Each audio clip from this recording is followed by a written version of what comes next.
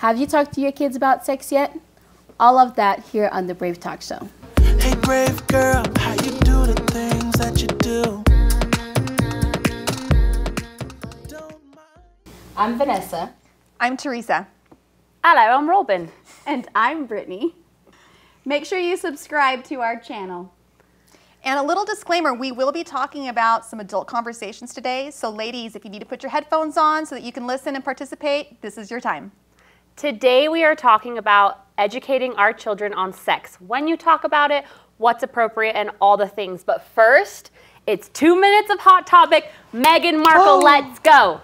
All Who's right. up? Okay, so what do you guys think? I am totally willing to air all of my family's dirty laundry for $7 million. Yes. Just gonna say that, sorry, mom. totally willing to do it. Yeah. Seven mil? I think the conversation needed to happen because, you know, the royal is very kind of like closed door, private, and everything. And since she came out and she was honest, and I think we, in reality, we see the royal and we think like they're untouchable. People like that don't deal with everyday life, but she dealt with everyday life with mental health, racism against her and her child. So You know, it's interesting that you say that about like not assuming that they don't, because one of the things that I saw online um, that people were kind of making fun of was here's this rich princess in her big mansion with all of her money complaining about racism. And I think their, their comment was really to imply that if you have money, therefore we don't live in a racist world. And you know, for a second there, when that when that came out, I thought, oh, that's an interesting argument. What do I think about that? And because I, wasn't really sure, I'm like, that, that kind of makes sense, but there's something in it that just didn't sit right with me. Mm. So I reached out actually to one of my friends who's just, I, I just trust him. He's just, he's, I can be honest with him and he can just tell me, like, this is where you're off. And I told him what I just told you now. And he let me know, like, classism and racism, two different things. Yes. And there's mm-hmm. crossover. There's certainly crossover, but there are areas where you can have one and not the other. Mm-hmm. And you can certainly have someone who has benefited from classism, but still experiences racism in their own life. And money come with its own problems. Like money come with its own problem. And then we don't deal with paparazzi because we're not like that. But I feel like that has to be hard everywhere you go to have a camera in your face. Your life is not your own. I know one part of the interview she said when I became part of the family, she tuned in her phone, she tuned in her keys, she tuned in her ID, her credit card, her debit, everything she doesn't make decision in how she lives her life. They kind of tell you, this is your house, this is where you're gonna stay, this is you do what the queen requires of you. Like, how would we feel? Sounds like prison. And is it worth the money? Is it worth it? All that. They, they obviously don't think it is. Is she not one brave girl? Seriously. Right? Brave girl. That takes a lot to go against, like, not only just like anyone who's making it, but like the queen.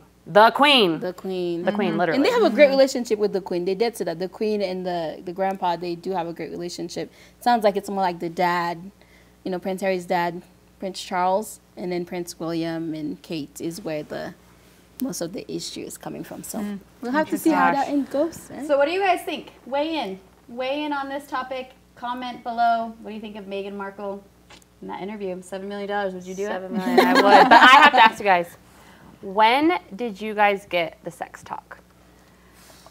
Fifth grade at school. Okay. I feel like I Um, never got it. I got it right before I got married. I was engaged. What? And literally, my right mom- before you got married? Right before I got married, my mom. How told old were you? Hold on. How old are you? So I was 22. Wow. Um, my mom just said, "I'm not sure you're gonna like it." I'm like, What? like, and then it continued for a little bit, but that that was that was the extent of it. Wait, okay, I have to ask. So that's the first time you had the talk, but did you already have it? Did you already know about it prior to that, or was this like you had no idea that this thing existed? No, I knew I, I knew sex existed before I was But you, 22. so, you, so you learned that from somebody oh, else. Yeah, like Maury Povich, and they were always on my grandparents' TV. Actually, my Yeah. grandparents were big talk show people, and so every time I would go over there, I'd be like, you know, listening and being like, oh, what are what what what are they talking about? This is scandalous. Like I can't watch this at home. I'm gonna watch it at my grandparents' house. Yeah. But- so that's really, and I started. I don't. I was older, you guys, when I realized the mechanics of sex, though. I'm yeah, not gonna mine going that. from a different culture, growing up in Haiti till I was 13. It's not really a conversation. I think parents, I think you're living in a world of really of poverty, and that's like like not the number one thing you talk about. But I just remember my mom being like, "Don't have sex," and that was it. Like, Yeah. Boys are boys are not the way to do it. And when you know? you heard that, did you know what she was talking about? I think so. I think you already have the idea. I think I think the world is so sexualized, so it's hard to even like my. I look at my little kids, like my little boy. He know what kissing is, and he watched Nick Jr. Like you know, he knows like, oh, that's a romantic thing. You know, so I think life is like media is so sexualized nowadays. Even back Back in like, so- '89, you guys, I was I didn't even. Let's just say on my first night of marriage, I didn't even know what a penis and balls looked like, or that it were two different things. Yes, I had no sex education. I never got like the anatomical parts, like. We call did we call our it vagina. we call it, like I thought this was called my vajay jiddly bop bop, and, and that the boys were doodly bop nodders. Like I'm not kidding. And so I never had to talk like anatomically how sex worked. I think I kind of figured out like growing up in junior high, high school that like that. you know Bitty sex. pop And then I remember my sister like told me what it was, and I was like, what? No. And it was like a one-time thing, and then no sex education after that. Wow. And I think that you're not the only one. I am not like the only one. Instagram Yeah, audience. you're not the only one. I've worked in places where I have teenagers and they don't know like what the name is. And one thing that I is really important for me with my kids, I start young because we live in a world also that's a crazy world. You know, you're not the only one that's around your kid. Other people are. Yeah. So the big one thing my husband and I agree on is like we are gonna teach our kid the proper name of their body parts. Same, we do the That was same. that important to me. So it's just like this is not like you say. Sounds cool, mm-hmm. right? Yeah. Bop, bop, But you know, what it that's was? like, like bop, we should be comfortable even with our boys. Like that's her vagina, and that's Yeah. her private part. And we make sure we make sure we let our kids know it's private and it's private to you. You know, mommy. Every now and then, if there's something's hurting, I can come and look and make sure. But if you ever feel uncomfortable, you tell me because this is That's your great. private. Yeah, part. and Vanessa, you probably know this working in you know the social work and me and sexual assault, but your kids need to know the anatomical names of their private part in case they are ever assaulted, or abused. Um, it's a lot harder to prosecute people when when you say the kid says they touched my special spot, but if your kid can say I was touched in the vagina, that's a lot Yeah, stronger, I had a story like that. Exactly Yeah. like that. The girl was sexually assaulted. She would come home and tell her mom, "My teacher, my gym teacher is tou- touching my cookie," and she's like, "What?" It's like, "Yeah, touching my cookie." And that was their code. That was the code name, but the mom hadn't registered, like even because they made it up, hadn't registered. And then she was helping her take a bath, and she's like, "Mommy, my cookie, my teacher touched my cookie," and the mom oh was like, oh my God. what the heck you know because that was kind of like so that's why it is important to teach your kid you know so right. they Yeah. can communicate that I also Yeah. think it takes out a lot of the shame. Like that is your penis, your vagina, just the same as is it your elbow or your eye. Like I wasn't allowed to say wiener growing up or vagina or penis. So when those words were I heard those words or I said those, there was so much shame and this is naughty, this is bad. Like my kids, like it's no big deal. They're like, Mom, I need to wash my vagina in the shower. Like it's, it's no big deal. It's Yeah. a, a part of your body. and we need to we need to in the culture that we're in right now it's just like, like i said your utah culture we have to make sure that the normalizing is that what we said now we Yeah. normalize that we talk about those things like it's Yeah. okay that somebody said vagina we don't have to be like Shh. like of course know your place know your place Right. but Yeah. Don't you think it's connected too, where if a girl feels confident saying my vagina and she's not, she doesn't feel that shame saying it out loud, that she's also going to be more confident in telling a boy no. Yes. Don't that. Absolutely. That confidence is tied to each other. I feel mm-hmm. like. Well, yeah, and also the confidence, but also the shame. If she's shamed about saying the word vagina and she's sexually assaulted or abused, it's going to be a lot harder to tell someone Yeah. she's been touching the vagina. Like, especially when the prosecutor i was in a trial one time and i watched it and he keeps saying the words like it's penis and then the girl wasn't used to it and you can tell like she was just like like, she's like and you can tell like and then the jury's looking at that and being like what the heck? Like you know? And that's that's my thing. I feel like you have to teach your children that and then the next thing is consent. You mm-hmm. have to teach your kids consent. So what we're finding though is like it seems like a lot of you guys didn't get this lesson. And my question is, did you not get it in school? Because I know I come from California, and it's like standard. Uh, and and I don't know. I think it starts. It's it started for me in fifth grade. That's when I learned. I learned it from fifth grade from school, and then you got it again like in middle school, and then you got some more in high school and so forth. Now they're they're moving earlier, and we can talk about that. But my question was like, were you guys homeschooled or something, or does does Utah education not? We had a not- maturation program. but that's nothing about sex. i had a class in high school I remember in high school, our health book literally had the page ripped out where it shows the anatomical like I legitimately did not know what a penis looks like. Oh wow! Like I it had was it in high taken school. out Yeah. of our Oh, book. wow. Hmm. It was taken out of our book. Yeah, we had it in high school. We had a health class, and I remember the teacher about the banana, passing out condoms. No, we didn't have It was that. like a two-day thing, maybe Yeah. a one-day thing. where you had to have a permission slip signed. Yeah, your parents had. Yeah, your it parents was, had to it was sign it. Very quick. Yeah. Very. It wasn't. It yeah, wasn't like just here you detail. go, Maybe my go. parents didn't Talk, allow they me talk to a little bit about Maybe. Yeah. like disease, like you know, like STD. Ours was like a week long thing. It was a process. Yeah, your parents had to sign it, and then the teacher goes into detail, talk about STDs. So high school Pregnancy. pregnancy. So high school is where I got like the bulk of it. And I think it's great because, but then you're sitting in the classroom. Like I work with teenagers right now uh, as a social worker, and we try to teach class because my goal with our kids is to teach them to transition and leaving. And some of them doesn't know about sex, but I can see them sometime in the class. They're watching them and seeing them, and you talking. And some of them will log off because they don't want to talk about sex. They get uncomfortable talking mm-hmm. about it. Mm-hmm. And so I think even though the school are trying, I think Utah has gotten rid of it altogether. But because it's not teaching the school, we have to teach it in the home. And I think that was one of our polls. Well, what would we be your preference? Would you guys rather be in charge of teaching sex education or would you rather the school? For me, I would rather myself because I feel like then I'm giving them enough. Because I, also, you don't want to teach your kids. I think Theresa have a story coming up, but you don't want to overdo it. Like you start mm-hmm. basic development by age.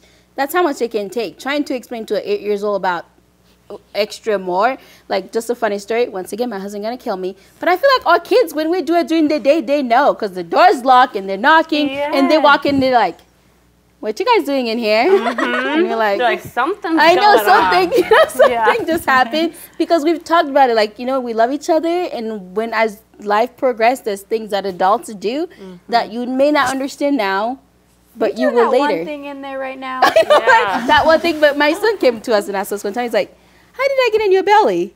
And I think remember he was like eight, and I was just like, Okay, we have to explain this in a way where it's Yeah. not gonna be scary, but in a way of like, you know, people that love each other mm-hmm. come make the decision to have beautiful children, and we're connected. And you know, I will tell you more, but it is more of an intimacy that is for adults and understanding. That's what happened, and he I was think like, that's "Okay." perfect. And you didn't give like the actual anatomical Yeah, yet, but you were straightforward and honest. Like I literally thought like babies just grew in bellies, and so I vowed that like my kids would never learn that. So same mm-hmm. thing. My daughter came to me when I was pregnant with my baby last year. She's eight, and she said, "Mom." How do the babies come out? And I was like, oh shoot, I have one try to make this good. And I just was straight fact. I'm like, oh, the baby's gonna come out of my vagina. And she was just like, okay. Yeah. Like straight facts. She didn't Yeah. care. No mm-hmm. emotions attached It's it. interesting that you say the age eight because we've already had the sex talk with my kids, but sometimes I think they just need to hear it a few times. They'll forget. Oh, yeah. They just don't Sure. understand. Mm-hmm. Yeah. So the same thing. My eight-year-old just last week was like wanted to understand again. Like he already knows, but like I think he just well he knows how babies are made, but I think he just needed some better More understanding of how the babies come out. Yeah. Right. And so I used the exact same language. You know, the baby comes out of the vagina, and he was like, "Mom, you just said this." And I think the reason why is because like the kids have used body potty language at the dinner table, which we have said that is not appropriate. Yeah. Right. And my kids have internalized that as it's not appropriate to talk about bodies at any point. And I have to remind them, no, it's like there's there's places, place, like yeah. not at the dinner table, you know. Right. So when Yeah. he goes that, I just looked at him. I'm like, yeah, comes out of her vagina, vagina, vagina. That's what I said. and, he- and you know, I'm like, you just have to accept that, you know. So you know, I had to just kind of sh- shock it out of him, but. It is an interesting time. They, they do ask these questions at the appropriate time. And, and instead of shunning them and saying, we'll talk about it later or this, like, that's a good time. And it's funny because when we first showed up, both Brittany and I were like, I've got a book. I've got a book I want to bring to the show. And I'm like, I've got a book too. That's awesome. And then we both walked in. These ones are mine. Those ones are yours. We both walked in, and um, it's the same Yes. collection of books, and it totally match is talking about what we're talking about right now. And um, Brittany, you can share where you found it and what you've gone through, but the gist of it is that these are four books for four different age levels Yeah. for your kids. Development. So there's ages three to five, five to eight, 8 to 11, and 11 to 14. And each one gives enough information that's appropriate for your kid at that level. And then it goes it goes deeper on the other ones. And you know, you'd have to decide as an adult, you know, as a parent if you if you feel like your kid is ready for the next book before the numbers say so. I mean, you know your kid's maturity more than anybody does. But at least it's, you know, you have some options there. Um, and you know, it doesn't get into, I think, some of the things that are still left to talk about that you might want to talk with them, you know, before they get married or they start, I don't know, dating or something like to that extent. But I mean, you get it from beginning to end for sure. I love that it's a gateway. So a lot of people are saying like, how do I just teach my kid? It's not like out of the blue he comes home from school and he's like, hey, little Joey, today we're talking about sex. Like, just start with a book, and then the conversation will come naturally. Your kids will be like, well, mom, what about this? So like, I have so many friends who are like, I just don't know like when to approach it. I'm like. Don't like just read a book, and then the conversation and will naturally question. flow. I think it's also when you're watching TV, it's it's right there in our Right. face, and they're like. I remember sometime like you watch TV back in the day, and your parents would cover your eyes when people are kissing, like Yes, you know, noticed all the like that. It's just kind of like kissing is okay. It's explaining to the child. So for me, like of course I we don't watch crazy, but if you feel like somebody kissing, like kids like ew, and I'm like no, it's just two people. Yeah. You know that cares. Like explaining it instead of like shaming it, and I think each conversation then becomes slowly. I think it should be something that started when they're young Mm-hmm. and going by, you know, age appropriateness, you know, instead of like, here's all this information, take it and leave it, and that's it. I think You it's know? also important to when your kids start having those feelings to like acknowledge them because like I was always like I can never date boys. I never want my mom to know I like a boy. So like my little girl who's 8 this year she came home and was like, "Oh my gosh, this boy likes me." And like, "Ooh, gross." And I was like, "No, that's awesome. Like you're going to start having those feelings and like, "Do you like anyone? Like let's should we get a Valentine?" And she was like, "I'm allowed to like someone." I'm like, "Yeah, cuz eventually you're going to marry someone." And so like that's super awesome. So like validate those feelings and then be like, "Those are good. And those are them. right." And instead of being that's- like, yeah, "Ew, you like boys?" Like my husband sometimes, he'll he'll tell me, like he'll probably be mad I said this, but he's always like teasing my daughter, like, "Ooh, do you like a boy?" I'm like, "Don't tease her for that," because one, she'll never want to come to us again, and two, like I want her to like boys, so like let's foster that. Yeah. right, right. Well, so you asked the question, would you rather the school teach it or you teach it or somebody else teach it? And so here's the reason why I want to teach it is because I want to foster that relationship with my kid. Yes. I want to know, I want them to know that it's a comfortable topic for us.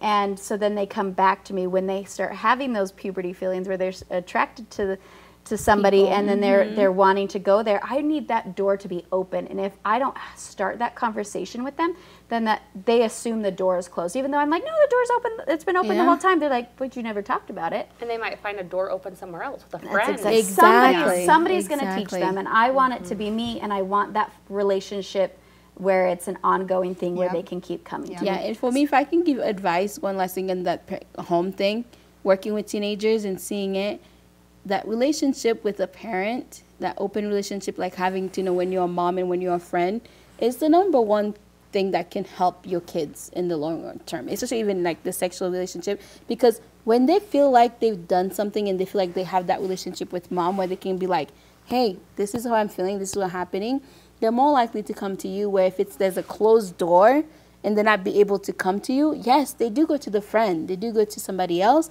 and that person educate them totally different. And they will never come to you and let you know. But I've seen both where the parents is involved, they have a relationship, and the parents doesn't shame them.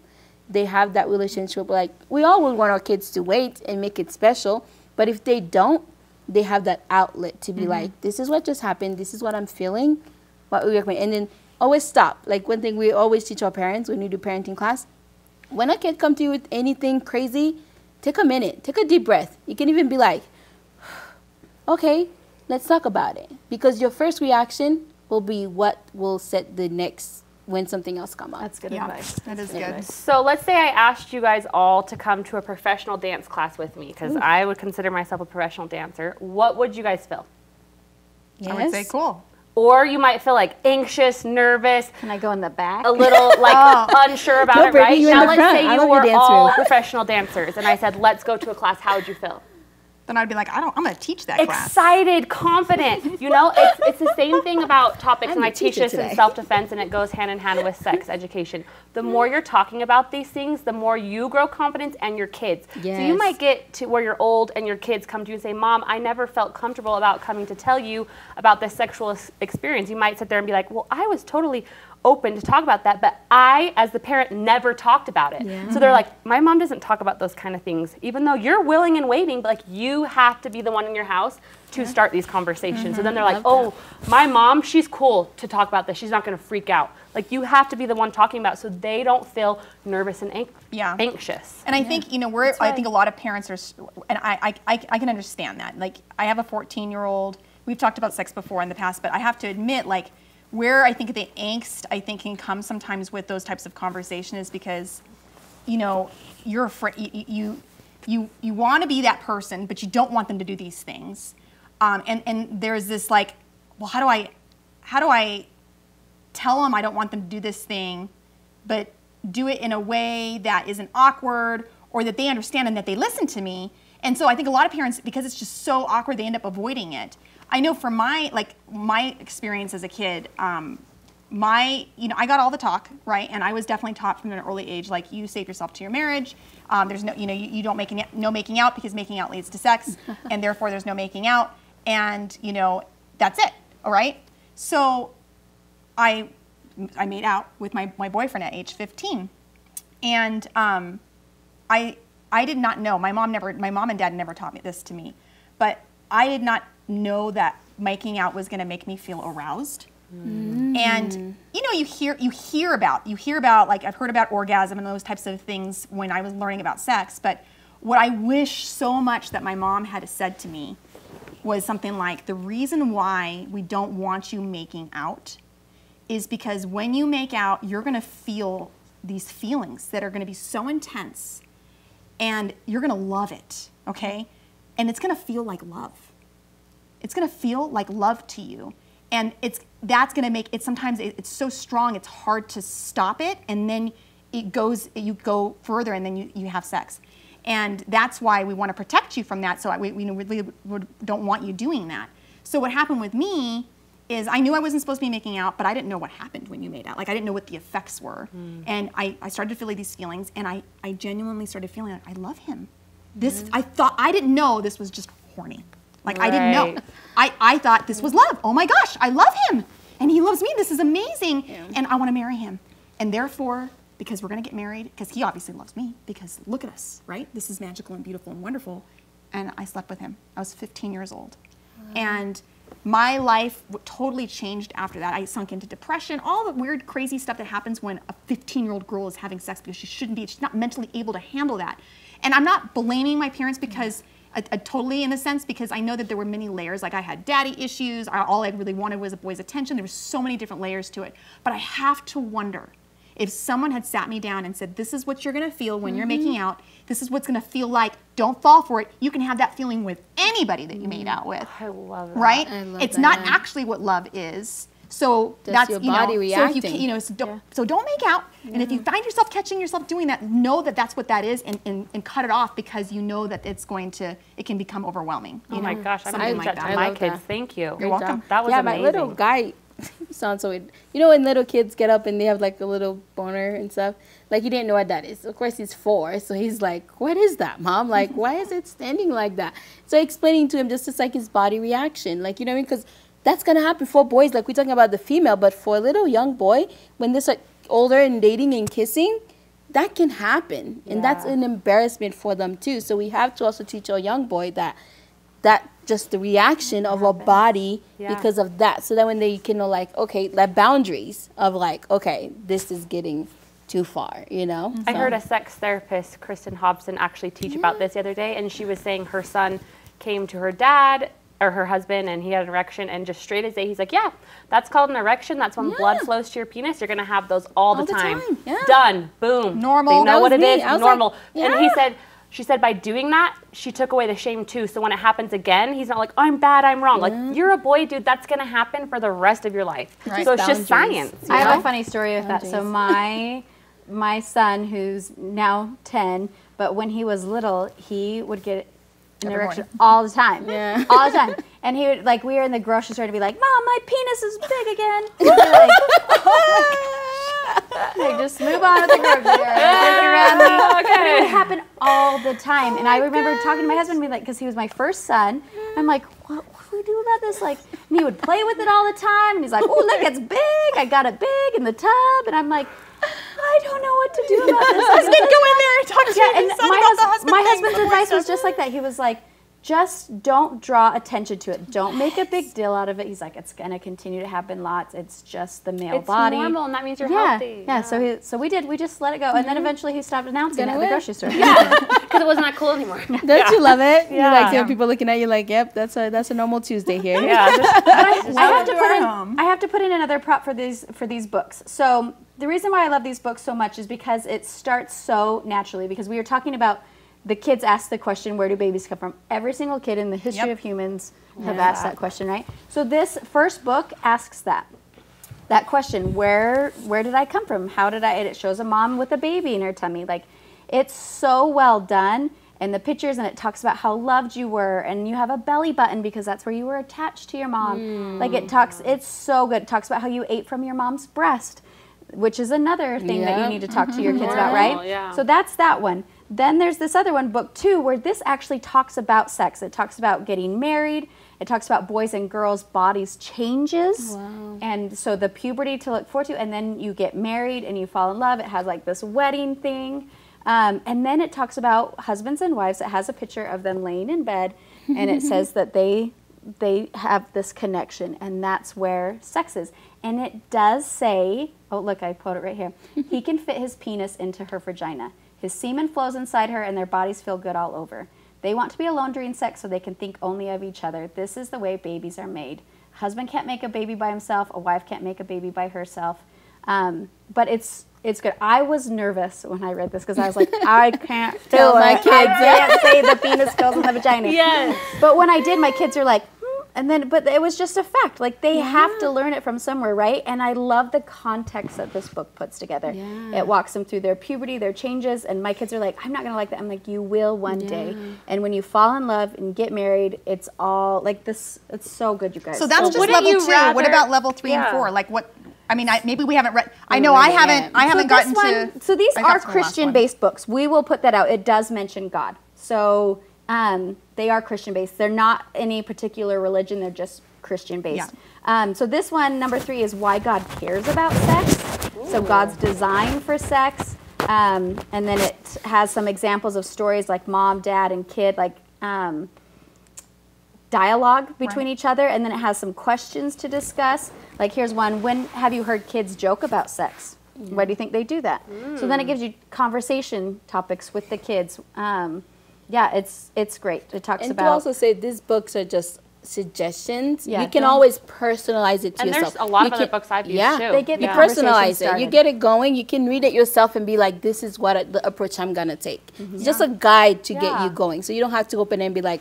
So I think that's what's important. So when we're teaching, we can read, read, read, read. Then we we know our children. Yep. We know our home, so we personalize it to how our kids would want to learn. Exactly. For me, I would rather have that really bonding moment with my child to teach them instead of them at seventh grade, little Joey's like, "Yeah, do you know what sex is?" Like, you That's what little Joey's gonna do it. That's how little Joey's how gonna little be Joey's gonna teaching. teach it. You know, and so like just to, to take control and be like, I and I know that I have friends who are like, I'm so scared. Like I was never given the talk, so I have nothing to model after. So learning from you guys has been helpful. Reading books and like if you aren't if you aren't confident yet and your hands are trembling, just read the book. It's okay. And you'll become more confident. And read it first. You don't that. have to straight go into like I'm gonna Please read, read this it first. exactly. Yeah. Read it Please first. read Like it my first. husband did the other like a month ago. He came to me because my husband grew up really didn't talk. Sex is sacred. Like you, we don't talk about it. You respect it.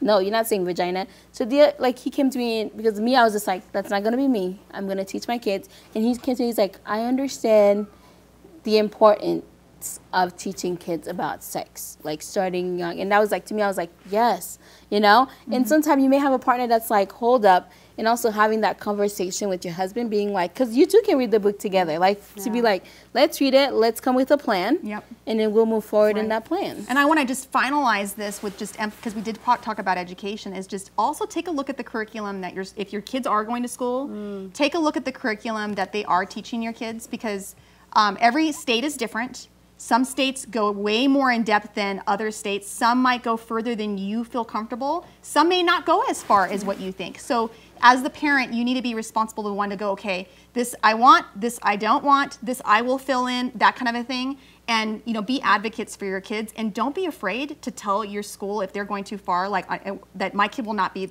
like you. You are the parent, and you mm-hmm. know you can make those decisions. I know I had a. I one of the reasons why we left California is because California is moving in a direction where they're teaching way too much for young to, to younger ages that we didn't feel it was appropriate and they weren't allowing parents to opt out.